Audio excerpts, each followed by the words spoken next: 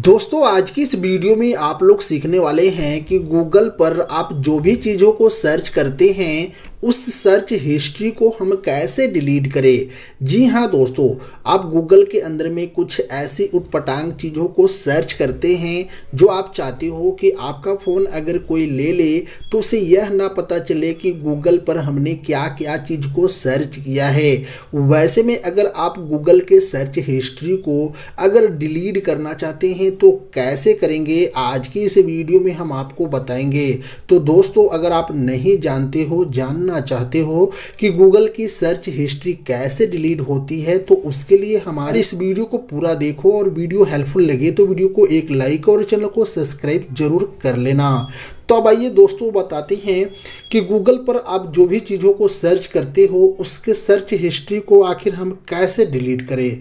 तो देखिए दोस्तों, अगर गूगल के सर्च हिस्ट्री को अगर आपको डिलीट करना है तो उसके लिए आप लोगों को करना क्या है कि आपके फ़ोन के अंदर में एक गूगल आइकन होता है और आपके फ़ोन में एक गूगल का एप्लीकेशन होता है जो हर फ़ोन के साथ ही आपको मिलता है।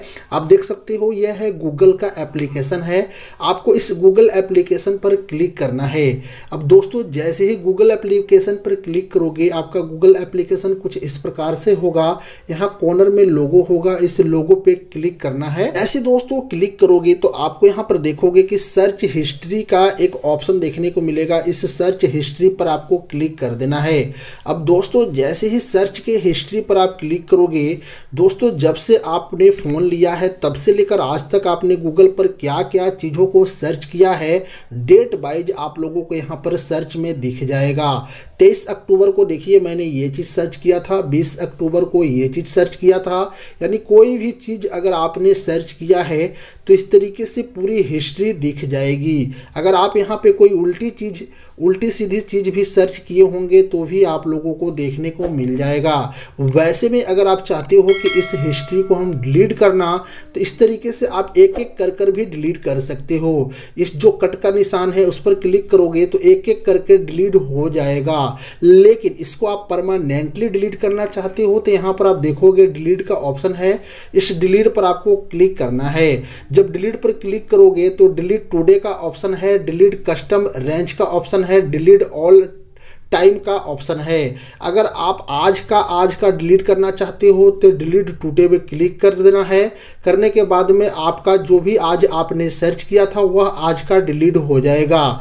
उसी तरीके से डिलीट कस्टम रेंज है। सिलेक्ट कर कर कर डिलीट करना है तो यहाँ डिलीट कस्टम रेंज को सिलेक्ट करें। डिलीट ऑल टाइम यानी कि पूरा ही हिस्ट्री डिलीट करना है तो डिलीट ऑल टाइम को सेट करें। यहाँ पर ऑटो डिलीट का भी ऑप्शन है।